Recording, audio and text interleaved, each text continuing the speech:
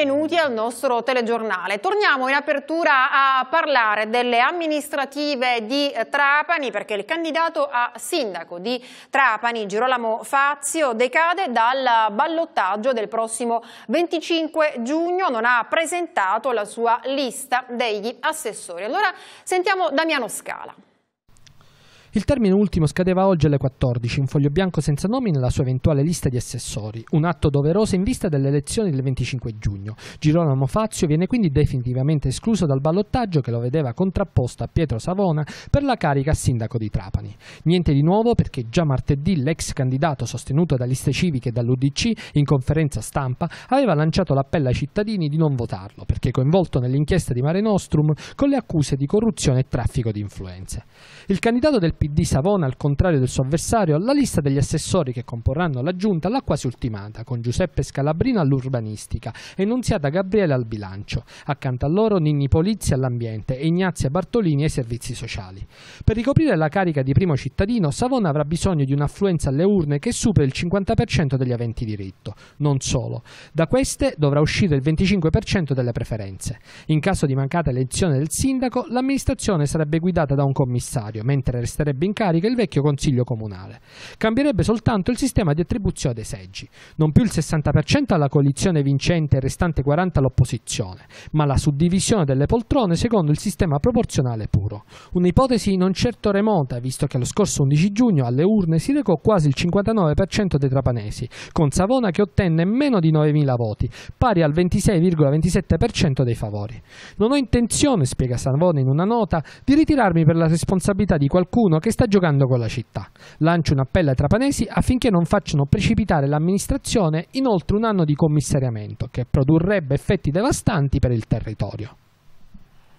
Andiamo avanti con il nostro telegiornale, ma cambiamo argomento. Un 25enne russo, Nikita Gromokov, originario di Mosca, ma che ha anche passaporto italiano, è stato fermato dai carabinieri nell'ambito delle indagini sulla morte di Angelo Leonardi, di 61 anni, deceduto in ospedale per un infarto due ore dopo essere stato pestato vicino alla stazione ferroviaria di Acirreale. Sentiamo Giorgia Mosca. Lo ha pestato a sangue lunedì scorso dopo una discussione accesa perché convinto che aveva rubato il portafoglio alla sua compagna Nikita Gomokov, russo di 25 anni, ha incontrato per caso Giovanni Leonardi, il tassista di 61 anni, morto pochi giorni fa all'ospedale di Acireale per un arresto cardiocircolatorio. Per lui era la resa dei conti, doveva vendicarsi. Le telecamere del sistema di videosorveglianza della stazione hanno ripreso l'aggressione incastrando il ragazzo che è stato arrestato dai carabinieri di Acireale. Ora Nikita Gomokov deve rispondere di omicidio preterintenzionale intenzionale aggravato. Subito dopo la morte di Leonardi, che ha avuto due infarti consecutivi, sono iniziate le indagini coordinate dalla Procura di Catania e attraverso anche le dichiarazioni di alcuni testimoni gli investigatori sono riusciti a ricostruire la lite e dunque il pestaggio. Gomohov, negli istanti subito successivi all'aggressione, insieme con la fidanzata e un'amica, ha preso il treno e si è diretto a Milazzo in provincia di Messina, dove abita, e proprio qui è stato arrestato. Tutti e tre sono stati portati in caserma a Catania e il 25enne è stato fermato e rinchiuso nel carcere di Piazza Lanza. Sequestro di beni a Vincenzo Graziano, i carabinieri di Palermo insieme con la sezione di misure e prevenzione del Tribunale di Palermo hanno disposto il sequestro dei beni tra Palermo e Udine al bosso dell'Acqua Santa per oltre 30 milioni di euro. Sentiamo Roberto Chifari. I carabinieri di Palermo hanno inferto un duro colpo alla mafia. È stato eseguito un provvedimento di confisca di beni per oltre 30 milioni di euro emesso dalla sezione misure di prevenzione del Tribunale di Palermo nei confronti di Vincenzo Graziano, 66 anni, della famiglia mafiosa del quartiere Acquasanta, arrestato nel 2008 nell'operazione Addio Pizzo e nel 2014 nell'operazione Apocalisse. Graziano è un personaggio noto alle forze dell'ordine. I beni in suo possesso sono il frutto degli affari degli ultimi 30 anni a Cosa Nostra nostra. Non è la prima volta che Graziano finisce sotto la lente di ingrandimento delle misure di prevenzione. Otto anni fa c'era stato un provvedimento di sequestro di beni tra Palermo e la provincia di Udine. Oggi sono stati confiscati il capitale sociale i beni della SRL con sede a Palermo, FG Costruzioni, MG Costruzioni e Costruzioni Generali. Confiscati anche tre magazzini, un garage, tre abitazioni e appezzamenti di terreni a Palermo e a Trabia, un'abitazione a Cinisi a pochi passi dallo scalo aeroportuale palermitano, otto auto rimesse, 8 abitazioni e 2 appartamenti a Martignacco in provincia di Udine e ancora 2 moto, un'imbarcazione alla quota di un'imbarcazione e 30 rapporti bancari con diverse migliaia di euro. Andiamo a Siracusa, avrebbe chiesto mazzette in cambio di sconti sulle sanzioni con l'accusa di conclusione è stato arrestato un ispettore addetto al servizio di prevenzione e sicurezza negli ambienti di lavoro, l'uomo e ai domiciliari. Damiano Scala ancora avrebbe taglieggiato gli imprenditori del Siracusano, da Ferla a Sortino, passando per Melilli, ispezionava i cantieri edili riscontrando irregolarità di ogni tipo, multe per centinaia di migliaia di euro che potevano subire un sensibile sconto, ma solo in caso di regali o mazzette, una tecnica ben consolidata che avrebbe permesso a Giuseppe Messina, 60 anni, ispettore addetto al servizio di prevenzione e sicurezza degli ambienti di lavoro, di accumulare notevoli quantità di denaro. Un giro di soldi finito nel mirino dei carabinieri di Siracusa che hanno ricostruito, cantiere per cantiere, i movimenti del dipendente dell'ASP.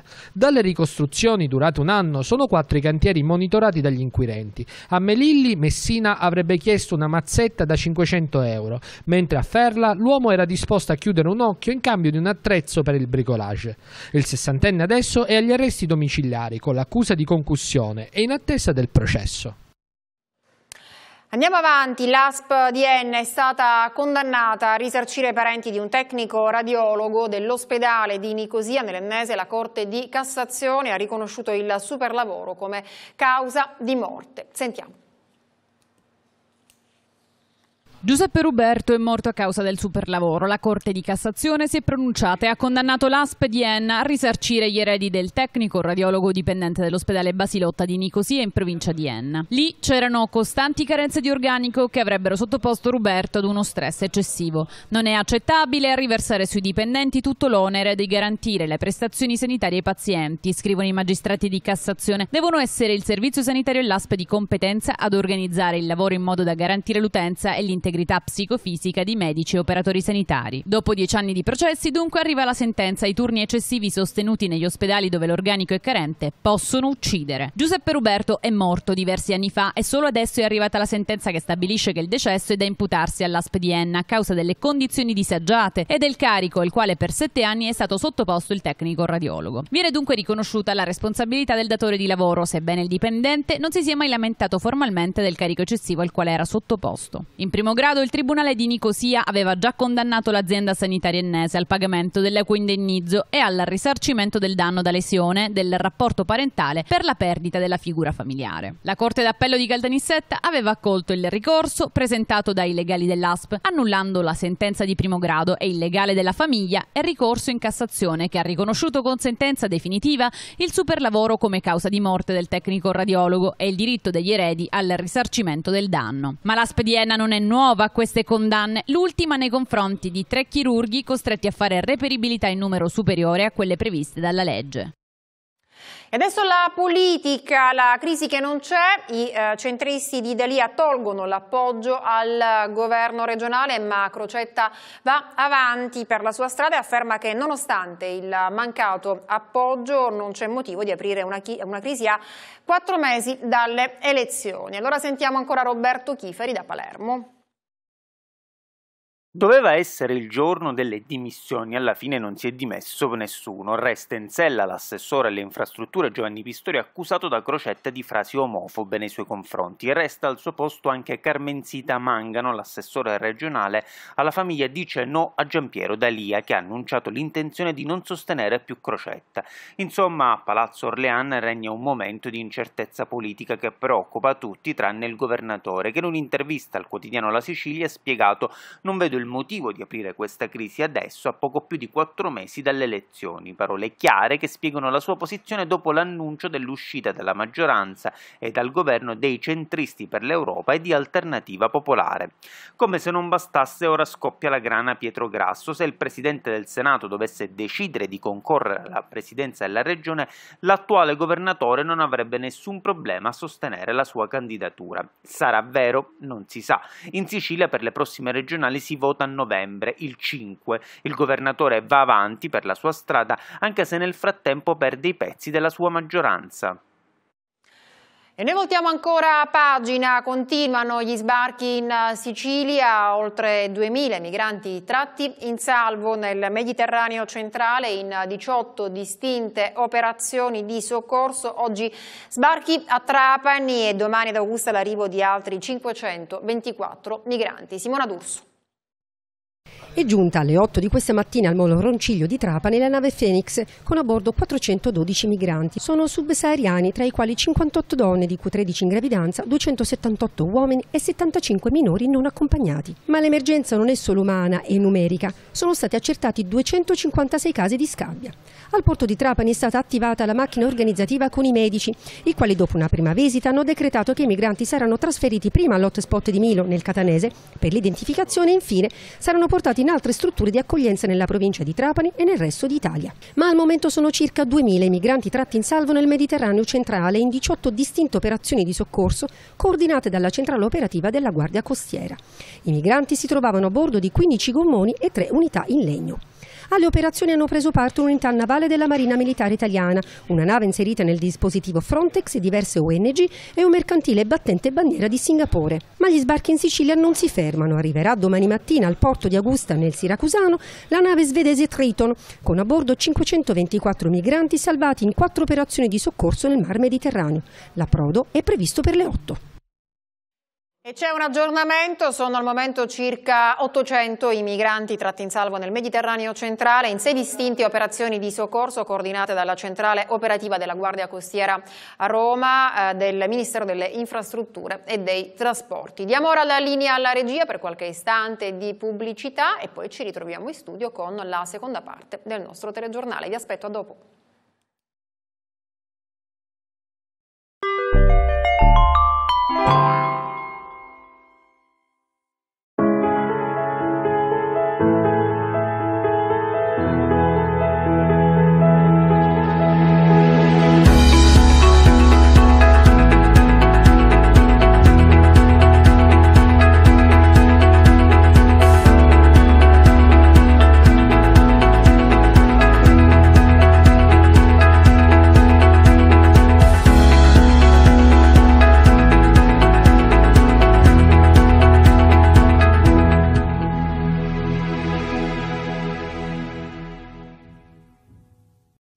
A scalare l'Etna? Per conquistare la vetta del vulcano attivo più alto d'Europa, patrimonio dell'UNESCO, la funivia dell'Etna. Da oltre 50 anni, con una moderna funivia e con confortevoli fuoristrada, ti porterà fino ai 3000 metri di quota. Funivia dell'Etna, come stare seduti sul divano di casa. E se sei un tour operator, contattaci. Rieccoci in studio con la seconda parte del nostro telegiornale. Il Comune di Catania ha aperto ufficialmente la stagione balneare e noi siamo andati a vedere in che condizioni sono le spiagge libere. È andato per noi Santi Ligeri. Siamo alla spiaggia numero uno della playa di Catania, come potete vedere dalle immagini tanta sporcizia, ehm, le docce ancora sono eh, in fase di manutenzione, stanno per essere eh, montate definitivamente, ma eh, la lamentela che muovono tutti gli utenti della spiaggia è che giunti al 17 di giugno, quindi a stagione balneare già iniziata e ufficializzata anche dal Comune, la spiaggia non può essere in queste condizioni. Abbiamo sentito proprio alcuni eh, bagnanti che sono venuti questo oggi qui per godersi una giornata di mare? La spiaggia è pessima. Intanto questa non è più la spiaggia libera numero uno, ma è la spiaggia abbandonata numero uno. E cosa devo dire? Basta guardarsi. Questa è una spiaggia aperta al pubblico, non lo so. Fa schifo completamente. È difficile anche portare il bambino? Eh certo, perché è facile di prendere infezioni e cose. Una sporcizia assoluta. Mangono le docce, molta sporcizia, soprattutto molte alghe, non si può fare nemmeno il bagno uno. Parere unanime, la spiaggia non è in grado di ospitare le tante persone che la occupano. Bottiglie di vetro, erbacce e addirittura escrementi, questo è lo scenario che si presenta a coloro che vogliono raggiungere la riva. Senza contare i servizi assenti o ancora parziali. Docce e passerelle sono in via di montaggio con gli operai della multiservizi che lavorano forse un po' troppo a rilento. Meno parole più fatti, questo è il monito mosso dai cittadini al sindaco Bianco che dovrà dare una risposta, si spera, già dal prossimo weekend. Porto di Catania chiuso per l'accesso alle bici. I ciclisti denunciano alla Guardia Costiera falso l'annuncio del Comune di Catania. Simona Zappalà. Porto di Catania, in estate sarà possibile attraversarlo in bici. L'annuncio era arrivato qualche giorno fa attraverso una nota del comune. Il sindaco Bianco aveva dato disposizioni precise, consentire ai ciclisti il passaggio al porto dal 15 giugno al 15 settembre per poter accedere più agevolmente in zona playa. Letto l'annuncio, alcuni ciclisti hanno provato a raggiungere la playa in bicicletta passando proprio dal porto, ma sono stati subito bloccati dal vigilantes che non ha permesso loro l'accesso neanche a piedi dal varco d'Usmet. Porto aperto oggi alle bici, incredibilmente tutto falso, così si legge nel profilo profilo Facebook di Lungomare Liberato. Secondo quanto dichiarato dall'amministrazione, si sarebbe potuto arrivare alla playa passando dal porto, proprio come un tempo, quando ancora non esisteva la nuova sbarra all'interno del porto realizzata a novembre del 2016. Quando però i ciclisti si sono trovati davanti alla sbarra, il vigilante si ha detto loro di non poter entrare. A questo punto uno di loro ha deciso di sporgere immediatamente una denuncia alla Guardia Costiera per il divieto di accesso anche a piedi. Ma com'è possibile tutto ciò? La risposta è semplice. Il transito all'interno del porto è consentito consentito solo ai turisti che sbarcano dalle navi. L'accesso ai cittadini è vietato e l'unico a poter decidere l'eventuale apertura al pubblico è la Guardia Costiera. Sembra che al momento il Comune abbia inviato solo una richiesta che deve essere valutata con le dovute assunzioni di responsabilità da parte di chi autorizza il transito perché in quella zona il passaggio è molto pericoloso. Abbiamo già disposto l'apertura di una parte del porto alla città, ha dichiarato il comandante Nunzio Martello e la sera, come possono vedere tutti, c'è tantissima gente, ma quella in questione è una zona soggetta a particolari controlli, non è una pista ciclabile. Parte da oggi il dispositivo speciale della Guardia Costiera Mare Sicuro. L'obiettivo è quello di sorvegliare con particolare attenzione le coste del litorale orientale della Sicilia durante il periodo estivo. L'estate sta arrivando e le persone che affollano spiagge e scogliere sono sempre di più. Sole, mare e divertimento, ma certe volte si esagera rischiando di farsi male. E proprio per i più sfortunati o i più imprudenti, gli uomini della Guardia Costiera hanno pensato al dispositivo Mare Sicuro. A partire dalla giornata di oggi, quindi eh, 17 giugno, ha inizio su tutto il territorio nazionale questo dispositivo che viene reiterato eh, ogni anno eh, da parte del Corpo delle Capitanerie di Porto Guardia Costiera ai fini eh, della eh, salvaguardia eh, della vita umana in mare, della sicurezza della balneazione navigazione e della navigazione, quindi è un dispositivo complesso che vede coinvolta mh, quindi, eh, tutta, eh, tutto il corpo e eh, nell'ambito della direzione marittima di Catania verranno impiegati circa 150 eh, persone. E per quanto riguarda i consigli ai bagnanti? Molto spesso eh, la eh, sicurezza viene dagli stessi bagnanti, nel senso che evitare comportamenti che possano esporre la persona al pericolo come allontanarsi allontanarsi eccessivamente dalla riva, soprattutto quando eh, ci si trova in condizioni psicofisiche non ideali, eh, quando eh, non si è eh, degli ottimi nuotatori, evitare eh, di nuotare nei cosiddetti corridoi di lancio oppure eh, superare il limite delle acque sicure contraddistinte dai cavitelli bianchi o la zona destinata esclusivamente alla balneazione. Dall'altro lato ci deve essere un atteggiamento chiaramente corretto e rispettoso dei limiti anche da parte dei diportisti che molto spesso navigano a velocità superiori rispetto a quelle consentite, in particolar modo nell'area marina protetta dove eh, i limiti eh, sono ancora eh, più inferiori. Quindi eh, ci deve essere da parte di tutti la volontà eh, di non esporsi a situazioni appunto eh, di rischio e di pericolo. Voltiamo pagina, Mario Venuti torna nella sua Catania con un concerto che mette in luce la nuova natura pop dell'artista. Ieri sera a Palazzo Platamone un grande spettacolo per il nuovo tour. Sentiamo Simona Zappalà.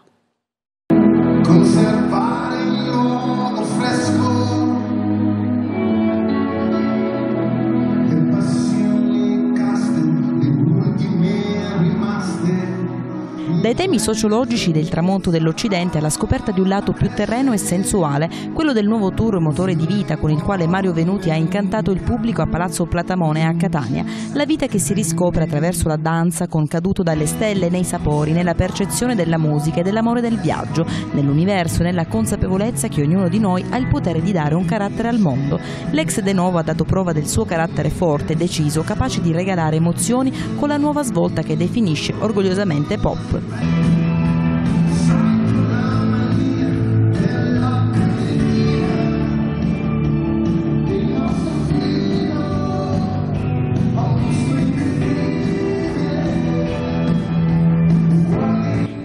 Vanta anche la collaborazione artistica di Caballà e la presenza del batterista jazz e arrangiatore ritmico Luca Scorziello che ha curato le percussioni del brano Caduto dalle stelle, primo singolo estratto dall'album.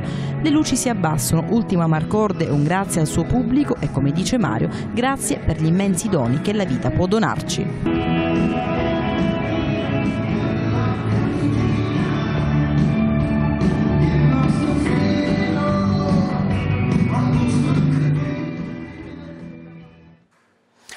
Qualche breve istante di pubblicità e poi ritorniamo in studio con la terza pagina del nostro telegiornale dedicata allo sport. Vi aspetto.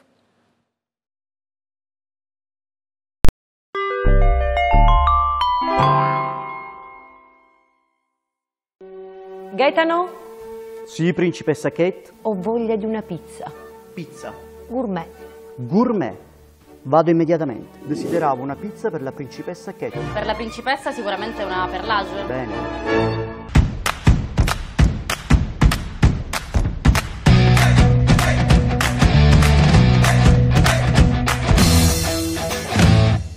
La sua pizza perlage. Eh, vai, vai, vai. Sempre gentilissimo. ANG Elettrodomestici. La competenza e il vostro risparmio sono il nostro biglietto da visita. Da noi trovi il giusto rapporto qualità-prezzo e i prodotti delle migliori marche. Con oltre 50 anni di esperienza nel settore, il nostro personale saprà guidarvi nei vostri acquisti con possibilità di pagamento personalizzato. Specialisti nel riscaldamento a pellet e legna ANG Elettrodomestici, in pieno centro a Catania, in via Luigi Sturzo 158. Parcheggio riservato per i nostri clienti. Vi aspettiamo!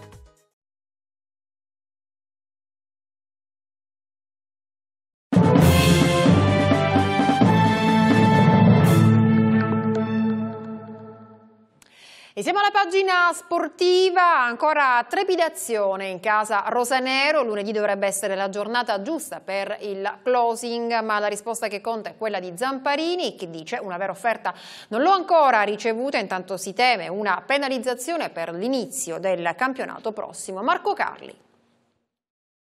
L'offerta per il Palermo c'è o non c'è? Sì ed è di 70 milioni secondo molti, no secondo Zamparini, che a TRM spiega il gruppo rappresentato da Baccaglini non ha presentato nessuna offerta sino a questo momento. C'è solo un contratto iniziale, stiamo aspettando, dice l'attuale patron. C'è solo un contratto con le cifre firmato all'origine ma poi non c'è stata un'altra offerta.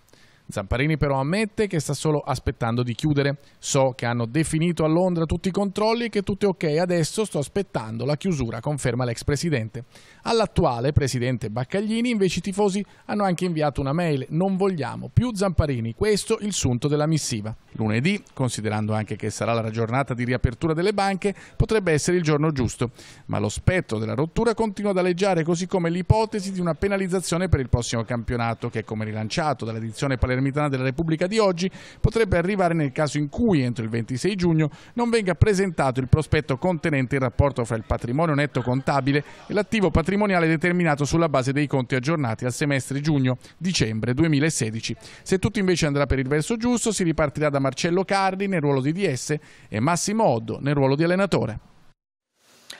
È notizia di questo pomeriggio un comunicato ufficiale dell'attuale patron del Palermo, Maurizio Zamparini, in merito alla chiusura delle trattative. Abbiamo firmato un accordo per la cessione del Palermo, dichiara Zamparini nel comunicato, lo scorso 9 febbraio. Eh, ad oggi non abbiamo ricevuto da Paul Baccaini nessuna variazione dell'accordo, né verbalmente né per iscritto. Rimaniamo in attesa di ricevere l'accordo finale entro il prossimo lunedì.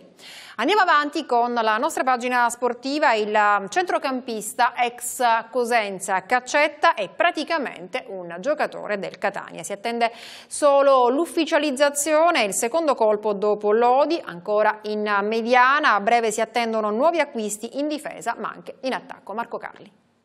Prima è stato il turno di Lodi, adesso quello di Cristian Caccetta, altro centrocampista con diverse caratteristiche rispetto a Lodi. È praticamente un giocatore del Catania, si attende solo l'ufficialità. Un altro rinforzo per la zona nevralgica del campo che nella stagione scorsa, complici scelte e soprattutto nel finale infortuni, non ha mai convinto a pieno. Caccetta palermitano di Partinico vestirà dunque il rosso-azzurro dopo i sei gol segnati con il Cosenza di cui era capitano nella stagione scorsa. Ex Trapani, Caccetta ritorna dunque a giocare sull'isola. I tifosi sono giustamente attendisti dopo le recenti delusioni, ma va detto che questo finora sembra l'avvio di estate migliore degli ultimi anni. Scongiurato nuovamente il problema Rinaudo, fondi disponibili per affrontare la stagione, possibile premio nel caso di cessione del Papu Gomez da parte dell'Atalanta. Insomma, è lecito credere che le basi per il rilancio possano essere messe. Dalla prossima settimana il mercato entra nel vivo, oltre Caccetta pronto l'accordo con Alcibiade in difesa, nome caldo insieme a quello di Sainz Mazza esterno del Foggia che potrebbe prendere Russotto. Lucarelli avrà gli uomini che ha chiesto per il suo 4-3-3, il 3-5-2 sarà l'alternativa, due moduli storici per il Catania degli anni d'oro, adesso si prova a ripartire. Le formazioni siciliane di terza serie iniziano a gettare le basi per il nuovo anno, non tutte però possono già pensare al mercato, c'è da risolvere prima problemi ben più importanti come ci spiega Giovanni D'Antoni nel prossimo servizio di sport. Ai nastri di partenza della nuova e mai così ricca Serie C, che partirà il prossimo agosto, ci sono sei squadre siciliane. Rivalità, derby e tanta carne al fuoco, ma non tutte le siciliane possono già vantare un programma definito per la prossima stagione. E anziché parlare di mercato, si fa più riferimento alle difficoltà di iscrizione e ai problemi dirigenziali. Nella passata stagione più volte si è parlato delle difficoltà economiche dell'Acragas. Il club agrigentino ha scongiurato con sacrifici e cessioni illustri lo spettro del fallimento lo scorso inverno, ma il rischio di arrivare senza fondi al prossimo torneo sussiste ancora ed è reale. Giavarini e Alessi hanno lanciato un pericoloso grido d'allarme. I tifosi protestano e invocano l'aiuto di imprenditori e rappresentanti politici per salvare una realtà calcistica che fino a pochi giorni fa festeggiava la salvezza. Situazione appesa ad un filo anche a Messina, sebbene l'avvento di Franco Proto abbia portato aria nuova in seno al club peloritano. Ottenuto il via libera per giocare al Celeste, adesso occorre superare lo scoglio iscrizione e pensare alla squadra. Ancora nessun nome per il tecnico, mentre sono già certi di partire i gioielli della Rosa, dalla stella Milinkovic al terzino De Vito, obiettivo concreto del Catania. Più semplice iniziare a parlare di calciomercato dalle parti di Siracusa, Trapani e Lentini. Gli azzurri hanno già individuato il dopo Sottil, da un siciliano ad un altro il padron Cutrufo punta forte su Raffaele di Napoli, attuale mister dell'Acragas. Ed è possibile che la prossima settimana possa già essere quella dell'accordo. Prima di agire in entrata, gli aretusei possono intanto festeggiare i rinnovi di Giordano e Turati, autentici pilastri della scorsa stagione. A Trapani ci sarà area di rivoluzione, si cercherà di sostituire i partenti Nizzetto, Rizzato e Casasola, su di lui anche club di Serie B con elementi esperti della categoria. Chiude il cerchio la sicula Leonzio che si sta dimostrando molto attiva in queste prime settimane. Si chiude a breve per Rigoli che una volta firmato il suo contratto biennale potrà scegliere i suoi primi tasselli.